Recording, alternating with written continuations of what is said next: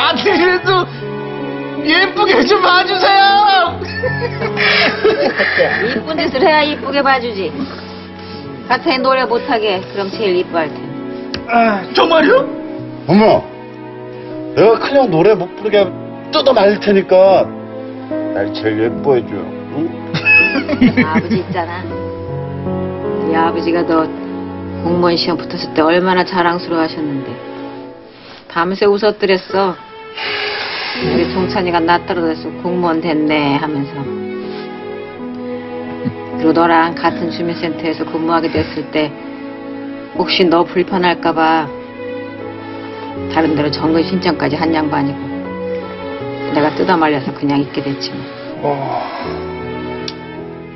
니들 정말 다 여기서 살 거야? 야, 장난 옷을 명령하는데 니들 자기 마누라 절대 찾아가기 없기다. 약속. 아이고 얼른 차라 차. 차. 엄마!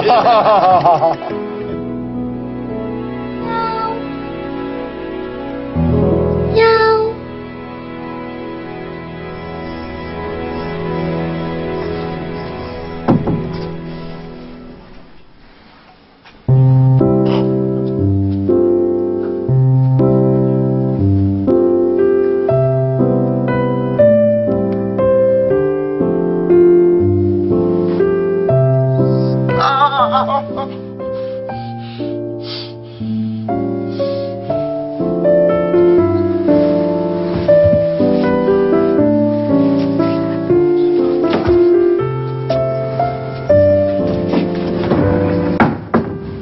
저 배신자.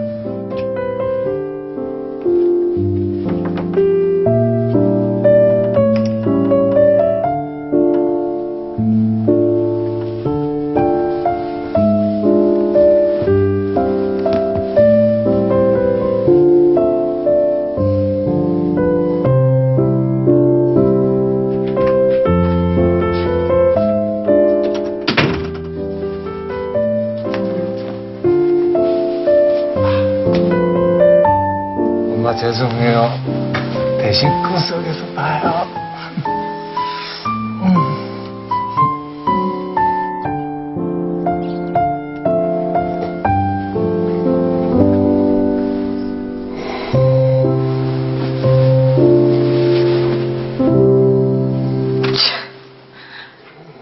그래 며느리한테 사랑받는 시어머니인데 이 정도는 웃어 넘겨줘야지. 참. 에이구.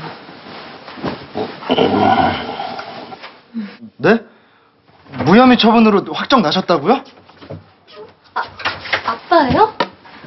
아버님, 오늘 그 유전자 검사센터 직원도 경찰서에 간다고 하셨죠?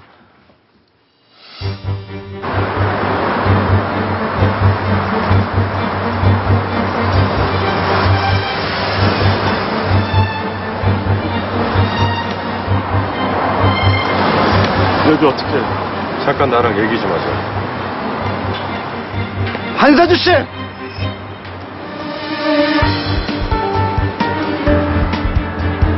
이제 그만하시죠.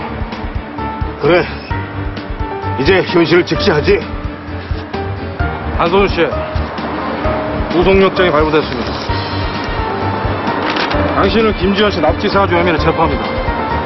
당신은 변호사가 걸림할 수 있고 특권을 행사할 수 있습니다.